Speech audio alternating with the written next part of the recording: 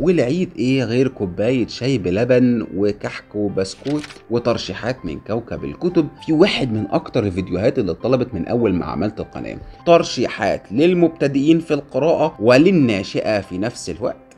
يلا بينا.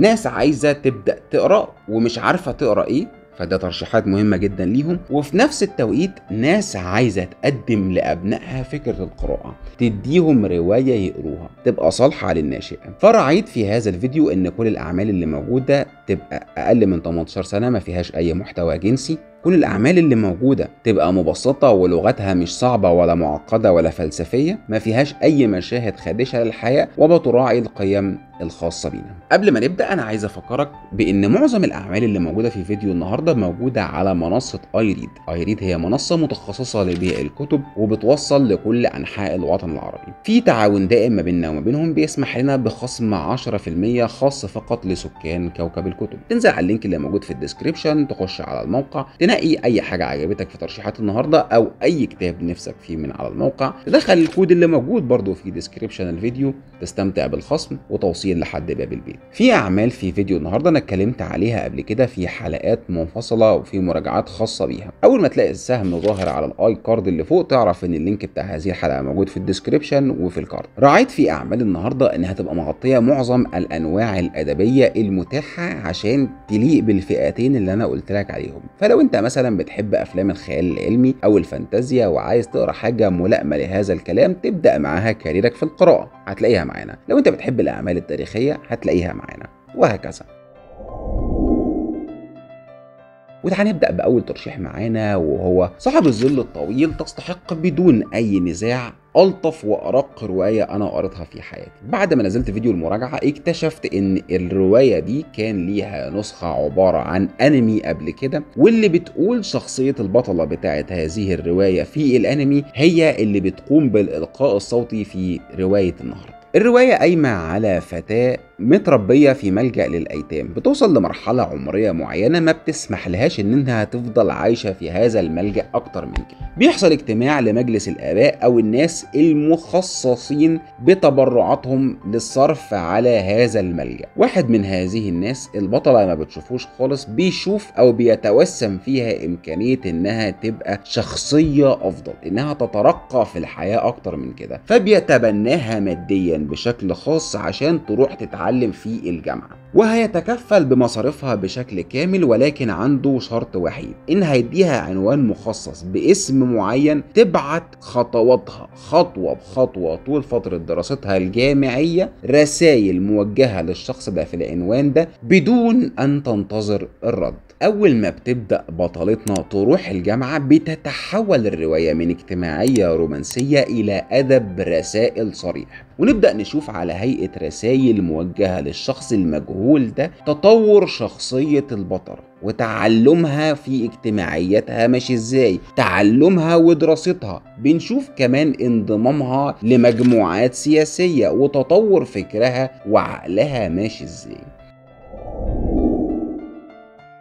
العمل التاني اللي معانا هو ثلاثية وبالتحديد هي ثلاثية مصر القديمة للعظيم القدير نجيب محفوظ. وخليني أتكلم معاك بشكل محدد على عبث الأقدار. تصنف كرواية اجتماعية تاريخية ولكنها ليست مصدر للمعلومة التاريخية. فنجيب محفوظ بيجيب الأجواء التاريخية بتاعت مصر القديمة أثناء حكم الملك خوفو ويقدمها لنا بشكل أدبي بديع جدا. فيها معايشة غريبة لأسلوب الحياة اللي كان موجود في هذه الفترة. التدرج الوظيفي للدنيا القوة العسكرية كانت عاملة إزاي؟ بنشوف الناس اللي كان في وظائف مدنية عاملة إزاي؟ ولكن نجيب محفوظ بيولف لنا كل الكلام ده في رواية موجهة للناشئة بأسلوب أدبي بديع للغاية يحتوي على كل مقومات لغة نجيب محفوظ السهلة البسيطة القوية جدا. وخليني أقول لك إن أنا بعد ما قريت هذه الرواية فوجئت بمعلومة ما كنتش متوقعها على الإطلاق وإن هذه الرواية هي أول رواية كتبها نجيب محفوظ في حياته. والحقيقة إن أنا مبهور بهذه النتيجة.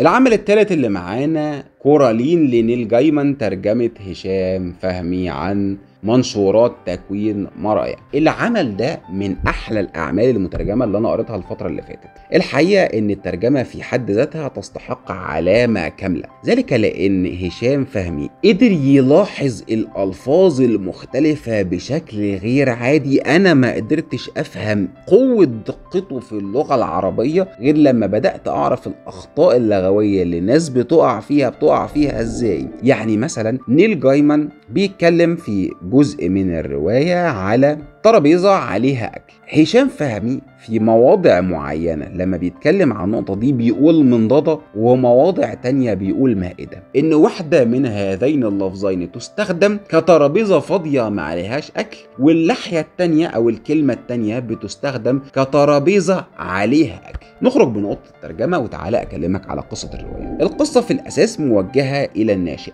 ولكن أنا كشخص كبير استمتعت بيها بشكل غير عادي. قصة الرواية ببساطة جدا قايمة على شخصية كورالين طفلة وحيدة لأب وأم بينتقلوا للمعيشة في مكان جديد عليهم بيت كبير نسبيا ولكنها وحيدة تماما ما عندهاش أي حد ولا أي صديق تتعرف عليه. والبنت بطبعها بتميل إلى الاستكشاف. في يوم هي زهقانة مش لاقي حاجة تعملها بتلاقي باب غريب. بتفتح الباب ده بينقلها إلى عالم موازي. في بيت برضه وفي أب برضه وفي أم برضه. بتلاقي كل حاجة بتتمناها بتقدم لها الأم البديلة اللي موجودة في العالم الموازي. وبتطلب منها إنها تعيش معاها للأبد ولكنها بترجع بتفاجأ لما ترجع لعصرها أو مكانها الحالي إن أبوها وأمها الحقيقيين اختفوا تماما.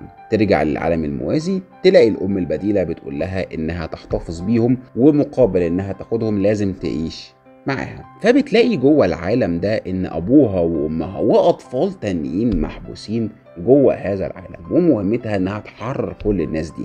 بنشوف عجائب وغرائب تتناسب مع العالم اللي إحنا فيه بقواعد خاصة بيحطها نيل جايمان. بنلاقي مهمة الطفلة دي بتزداد صعوبة لأنها بتقابل أشخاص يوازوا الأشخاص اللي كانت عايشة معاهم في عصرهم الحالي أو في عالمهم الحالي. وبنشوف تصوير للبيئة بشكل غير عادي. تجسيد للمشاعر بشكل غير طبيعي. بنشم ريحة التراب اللي على الحيطان. نيل جايمان بيقدر ينقلك معاه للعالم ده. الحقيقة إن الرواية ممتعة جدا جدا رغم حجمها الصغير.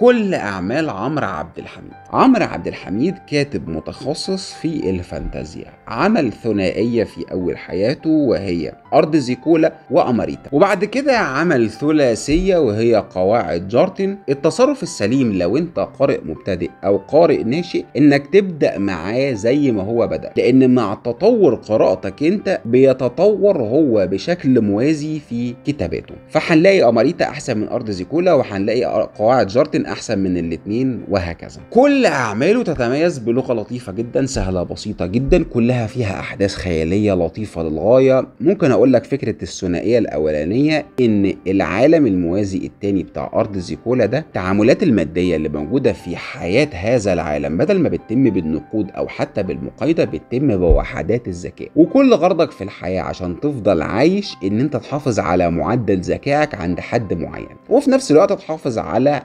متطلباتك اليومية. في قواعد جارتن بيزيد بقى في تخيلاته وفي بنائه لعالم مختلف تماما. بيبدأ يأسس لعالم ليه قواعد مختلفة بيقسم فيها البشر إلى قسمين النبلاء والنسالة. النبلاء بشر عاديين بيتناسلوا بشكل طبيعي جدا راجل وست بيتجوزوا بيخلفوا. النسالة بقى ليهم قصة مختلفة لأن هم من أصولهم عبارة عن قطاعين طرق وسارقين وزنا وعصاة. الناس دي بيجبروا بشكل معين بطريقة معينة إن هم يتناسلوا عن طريق التضحية بأرواح الآخرين ويخشوا جوه الأجنة اللي موجودة في بطن الأمهات. ونبدأ نخش بقى في صراع ما بين الطبقات وأحقية النسالة في العيشة وصراع سياسي موضوع معقد جدا جدا وثلاثية الحقيقة جميلة للغاية.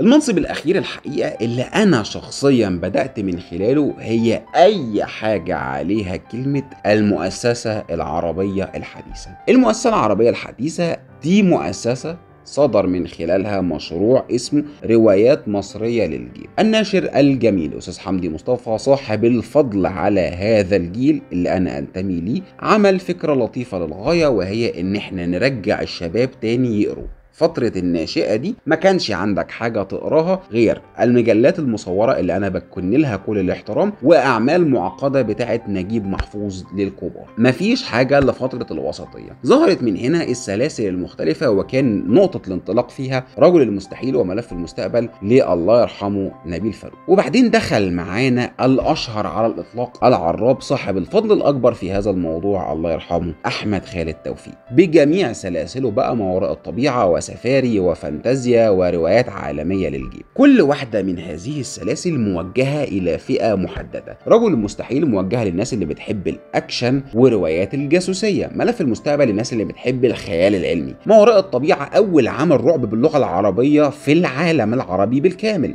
فانتازيا قايمة على خلط الواقع بالعوالم الفانتازية المختلفة اللي ألفها المؤلفين بشكل عام على مستوى التاريخ العالمي كله. سفاري قايمة على ال medical thriller وهو خلط خلفية أحمد خالد توفيق الطبية بأسلوبه الأدبي وتوصيل المعلومة الطبية لقارئ غير متخصص بشكل درامي جميل للغاية. أنا كطارق أرشح لك إيه؟ يعني نبيل فاروق مبتدئ قوي أو أسلوبه لم يتطور مع تطور نجاحه وانتشار شعبيته فهو أول عدد ليه زي آخر عدد ليه اسلوبه فلات وقايم شوية على الأكشن بشكل خاص. لو أنت عايز حاجة متقدمة أكتر من كده تأهلك إن أنت تخش لعوالم تانية فهو ده اللي بيعمله أحمد خالد توفيق. فأحمد خالد توفيق بيطور نفسه وهو ماشي طول ما أنت ماشي مع أحمد خالد توفيق بيرشح لك أعمال تقراها جوه الأعمال اللي هو بيكتبها بيخليك تخش في العوالم بتاعته بيدخلك جوه إمكانية إنك تروح تتفرج على الفيلم الفلاني عشان تفهم الكتاب العلاني بيدخلك في حاجات متطورة جدا وهو نفسه أحمد خالد توفيق تطور بعد كده لما دخل في الروايات الكبيرة زي يوتوبيا